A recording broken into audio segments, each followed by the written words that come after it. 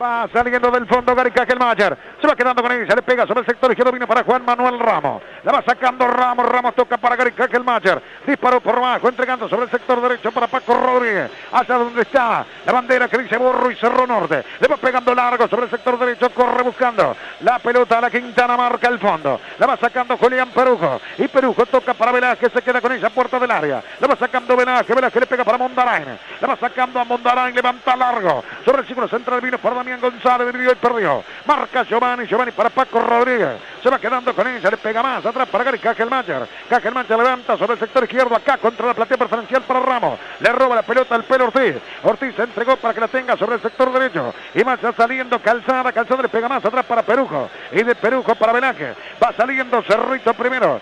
Primero 50 segundos de juego. No tiene goles el partido. La va sacando del fondo a Mondarain se arrima sobre el seguro central, le pegó para Villoldo, le pega violento, largo, buscando a Damián González, que está atacando Cerrito, que va contra el arco del Río de la Plata, allá corre Damián González, la marca Giovanni González, en el repliegue la va sacando, le pega hacia adelante, le quedó para Jonathan Rodríguez, Rodríguez quería jugar con Silvera, marca al fondo, la va sacando Gaitán, la pasó de taco, la pasa mal, y robó sacando Silvera, Silvera le pega sobre el sector izquierdo, vino para Damián González, va para Silvera, le pega, va para Silvera, le pega, tiro al arco, gol, ¡Gol!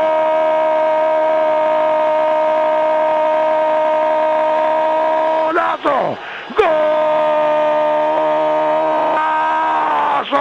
¡Golazo de Cerrito! El goleador del campeonato. Enganchó hacia adentro, recortó y sacudió el rengue. La puso arriba contra el vertical izquierdo. Al minuto con 40. El goleador del campeonato que está derecho. Que todo lo que toca lo grita que todo lo que en la red.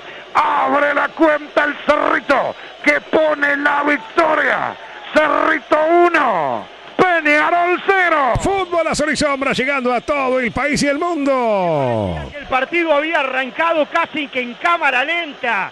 Peñarol intentando mantener la pelota atrás, no siendo directo, pero una muy buena presión en un 4-1, 4-1 de Cerrito hizo de que Peñarol perdiera la pelota por el sector izquierdo. La jugada que se va hacia la derecha, que vuelve a la defensa, que se encuentra el Bala González después por el sector izquierdo. No podía salir Peñarol con la presión de Cerrito y el balón le quedó a él, al goleador del campeonato, al que anda clarito Maxi Silvera se tuvo fe en el uno contra uno, definió cruzado y arriba. ¿Y quién lo iba a decir acá en el parque? Rodó al minuto 20 del partido. Gana Cerrito 1 a 0. Le va a pegar Gaitana. Va a venir el centro contra el área. El golpe de cabeza. Gol. Gol. Bentancur. Gol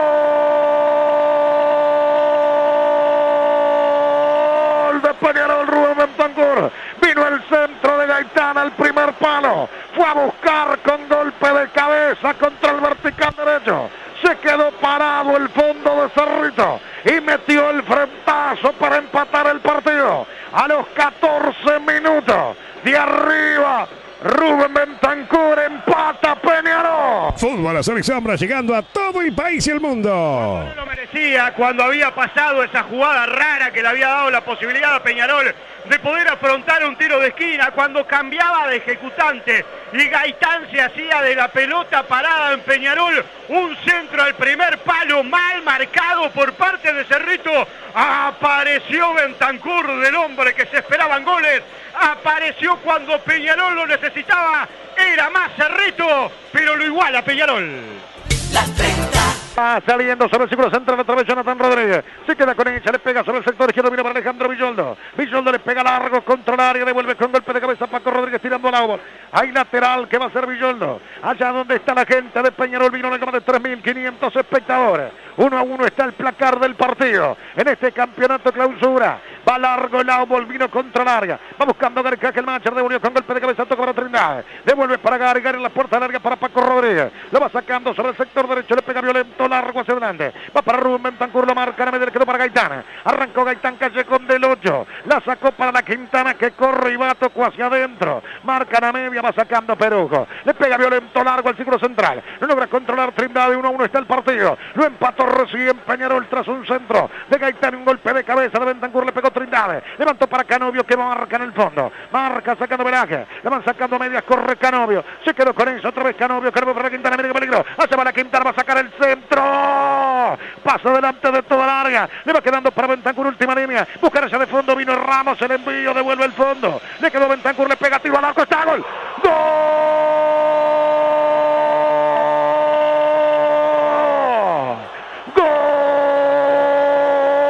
¡Gol de Peñarol! Rubén Bentancur. Le pegó bárbaro. Se llenó el empeine. Una sucesión de rebotes. Y le quedó a pedir de boca al goleador que está derecho. Que le pegó abajo. Cruzado contra el vertical zurdo a los 18 minutos. Lo da vuelta Peñarol. Explota la gente en el Francini. Rubén Tancur pone el segundo. Lo gana Peñarol. Peñarol 2. Cerrito 1. Fútbol azul y sombra llegando a todo el país y el mundo. Increíble cómo se le escapa la ventaja del Cerrito en los primeros minutos de partido. En estos cinco minutos finales que tenemos aquí en el Estadio Francine, en estos últimos cinco que hemos recorrido, donde apareció por dos Bentancur, el hombre del que tanto se había hablado, del que no le había entregado lo que Peñarol necesitaba cuando lo fue a buscar. Una pelota que no dio por perdida a Canovio en una situación en la que podía dejar pasar y que Cerrito golpeara esa pelota y la sacara de zona defensiva. Nada de eso sucedió, la peleó Canovio, continuó jugada y una serie de rebotes. Encontraron a Bentancur otra vez solo, volcado sobre el sector izquierdo, con posibilidad y tiempo para rematar cruzado rasante al verde césped y poner a los 17 la ventaja Peñarol. Gana 2 a 1 ahora en el Parque Rodó. Las 30. Bien, 44. Le va a pegar Perujo que va a tomar carrera. Va a sacar el centro contra el área. Va a buscar de arriba Cerrito. El empate arco del Río de la Plata. Le va a pegar Perujo, a buscar el golpe de cabeza el Pelorté. Esta Maxi Cervera se mueve también calzada. Vino el centro largo, devuelve con golpe de cabeza al fondo. Y va corriendo sobre el sector izquierdo Villoldo, llegó primero Canovio. Se va quedando con esa Canovio, la tiro hacia adelante, rebota. Va a salir con balón de Giovanni, Giovanni toca para Canovio. Arranca la derecha y se ve, mire qué peligro. Y le pegó para la Quintana. Corre la Quintana, está abierto Zorrito. Vino con balón de si la cambia puede ser. Si la cambia puede ser, para Rubén le pega tiro al arco, está gol. ¡Golazo! ¡Golazo! Una contra demoledora a los 44 con 40. Rubén Bentancur que se lleva la pelota. Le pegó sobre el sector derecho. La fue a sacar Canovio. Trabó, ganó. Enganchó, se la dio a la Quintana. Que lo vio llegar. Entró, le pegó abajo contra el caño derecho. Y pone el tercero de Peñarol. Peñarol 3. Cerrito 1. Fútbol azul y sombra llegando a todo el país y el mundo. Rido Bentancur se vino a divertir al Parque Rodó, como cuando niño, como en aquellas oportunidades cuando decían, mirá, apareció el hermano de Cavani cuando vestía la celeste en las juveniles de Uruguay. Bueno, no le tenían fe al número 11 y se despacha con un hat-trick en el primer tiempo cuando todo parecía ser color amarillo. Para el equipo de Apareció Bentancur y un hat-trick en 44 minutos que pone arriba Peñarol 3 a 1. Las 30.